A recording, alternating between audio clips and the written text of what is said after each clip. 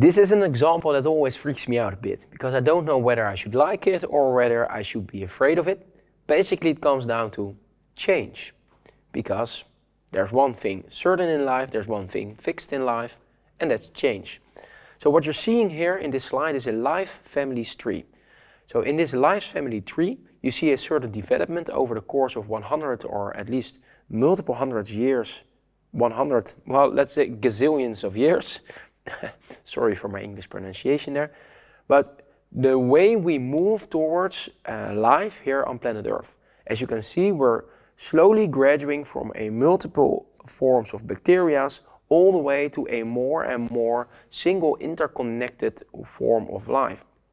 In other words, we're continuously increasing the way that we are interconnected with each other. What does this mean? That, for example, 300 years ago, you would have no idea how somebody would live in New Zealand. You couldn't have visited uh, for if, even if you had holidays, you couldn't visit the other side of the world within 24 hours. And just imagine how it is nowadays.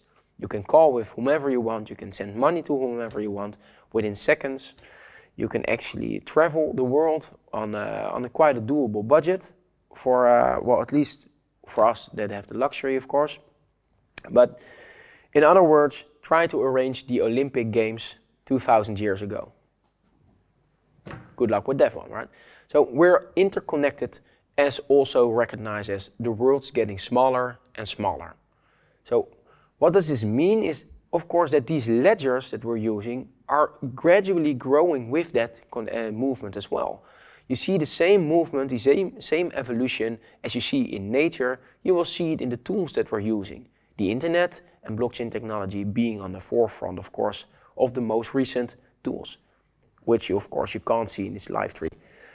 Um, this live family tree will also post you a link that you can do a deep dive because you see some white spots in the middle. Those were mass extinctions. The most recent one, uh, the dinosaurs, the reptiles in the, the, the, left, or sorry, the right upper green version.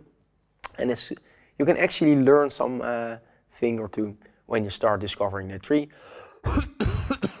Some people also claim that human, um, actually, humanity, the human will actually be the very first one. That will be the sixth extinction that extincts itself. I am, uh, I have no idea whether that's true. I have no idea. I'm very, very uh, poorly educated in the course of biology. What I am very fascinated about, though, is something that I once heard Elon Musk say that there is even a possibility that you could be interconnected with everybody on the earth through a chip on the back end, back end of your eye. So how would that work? Uh, you currently have a phone on your hand, right? It's only a moment in time, probably will happen within five to 10 years that it's actually integrated in your hand. And of course, this is already possible, but on a mass scale.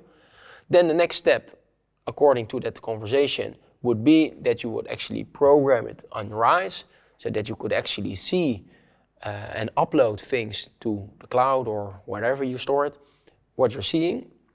And there it depends, is it going to be a centralized cloud or is it going to be in a decentralized cloud? Do you want somebody to see all the things that you are seeing or do you, or do you want to be the only one that actually sees that? That's centralized ledger respectively decentralized ledger. Me personally, I would like to keep my uh, view of the world personally for me alone. and um, gradually, though, we are moving to an interconnection. Because if you have this image and you're connected to a cloud, you can actually, and that's of course science fiction, but science fiction tomorrow is reality uh, the day after tomorrow. So you could be connected, your brains could actually be plugged in into a network where you are connected with all the other people around the world. And perhaps not only people, but even machines, etc., etc. Right. I will look up this uh, interview. I think it uh, was with Joe Rogan. Very cool interview, a bit long though, but um, definitely worth your time. It take approximately two hours. And this is basically what he's telling is it is this li life family tree we are all gradually moving to a one single entity. As history has shown us, how this entity will look like, I literally have no idea. But what I do know is that a decentralized ledger is a way more formidable ledger to do something like this than a centralized ledger. So the movement from decentralized ledger to, or sorry, uh, the movement from centralized ledger to decentralized ledger is just a thing nature basically bestowed upon us. And it's just a, the next form of evolution in one of our tools. So this is, the, this is one of the main, most important reasons why I strongly believe that decentralized ledgers will be the future because they allow us or enables us in way better ways to be interconnected with each other than ledgers that have walls around them. See you in the next session, the last session, about a personal head start.